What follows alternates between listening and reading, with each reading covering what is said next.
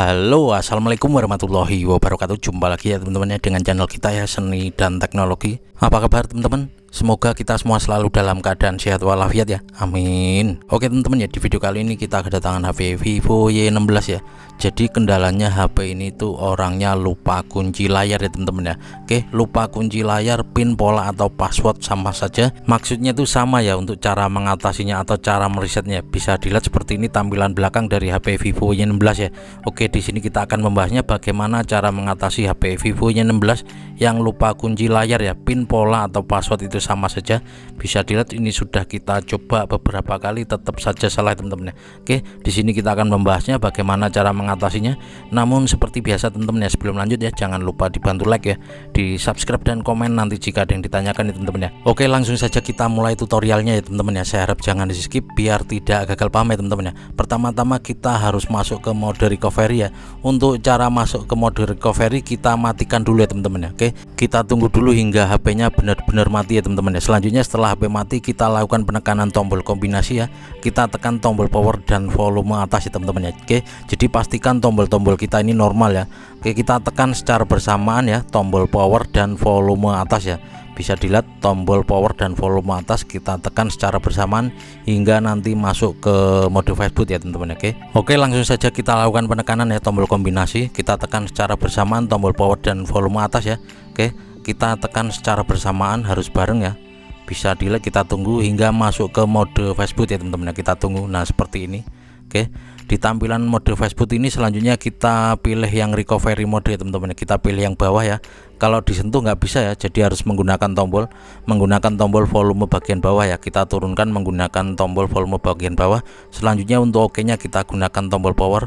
Maka dia langsung masuk ke mode recovery ya teman-teman oke kita tunggu hingga HP nya masuk ke mode recovery. Jika HP kalian dalam keadaan ngedrop sambil dicas ya teman-teman ya. Soalnya nanti prosesnya ini sangat lama sekali untuk proses hair resetnya ya teman-teman ya.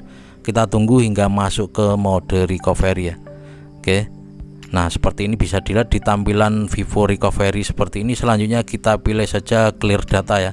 Nah yang ini ya teman-teman ya. Selanjutnya di sini kita pilih clear chase ya. Kita pilih yang atas dulu ya clear jaji ya. Selanjutnya kita pilih oke OK untuk untuk di tampilan clear jaji seperti seperti ini jaji ini ya.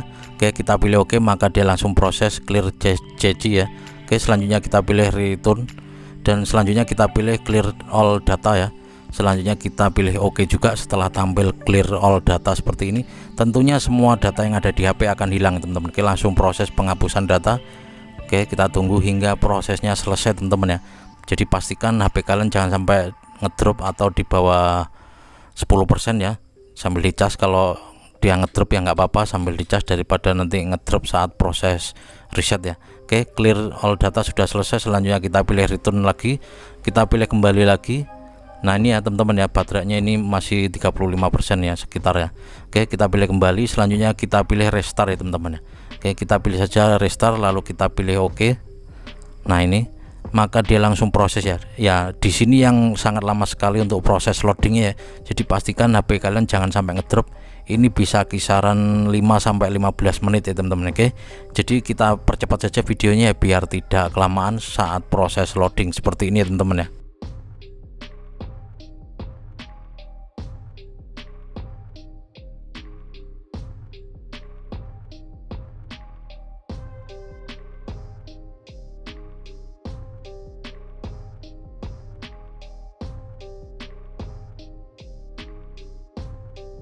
Oke setelah kita percepat hingga 16 kali versi Master ya sekitar real time-nya itu sekitar hampir 10 menitan ya teman-teman. Oke bisa kita lihat di sini sudah ada tampilan halo seperti ini. Selanjutnya bisa kita pilih saja mulai.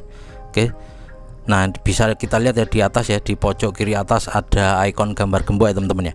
Ini menandakan kalau HP ini terkunci akun Google ya teman-teman ya. Untuk memastikan kalau HP ini terkunci akun Google apa enggak kita sambungkan dulu ke jaringan WiFi ya teman-teman oke?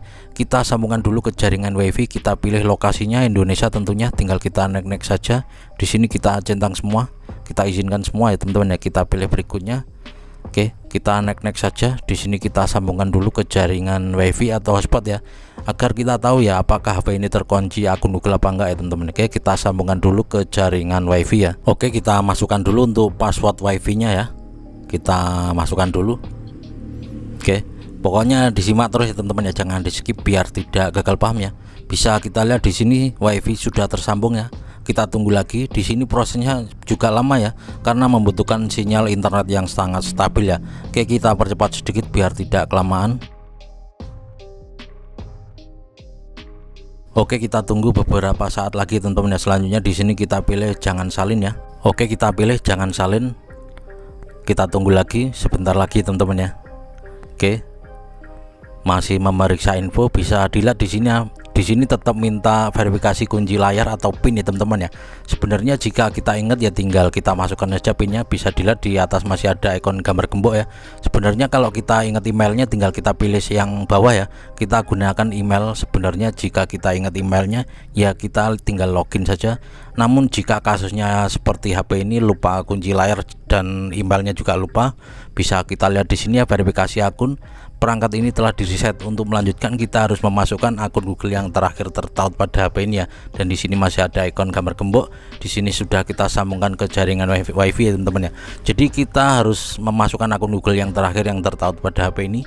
Jika lupa kita harus menghapusnya teman-teman ya. Untuk cara menghapus akun Google pada HP Vivo Y16 ini sangat lumayan panjang prosesnya jadi saya lanjut di part 2 teman-teman ya. Intinya seperti ini untuk cara mengatasi HP Vivo Y16 yang lupa kunci layar ya pin pola atau password teman-teman oke?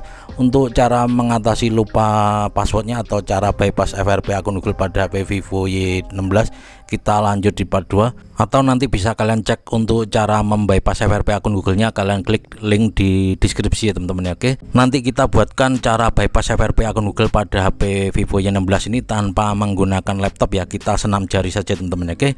Gitu saja semoga video ini bisa bermanfaat. Sekali lagi terima kasih yang udah klik video ini ya jangan lupa dibantu like ya di subscribe dan komen nanti jika ada yang ditanyakan. Kita ketemu lagi di video selanjutnya dan saya akhiri. Wabillahi taufik walhidayah dan wassalamualaikum warahmatullahi wabarakatuh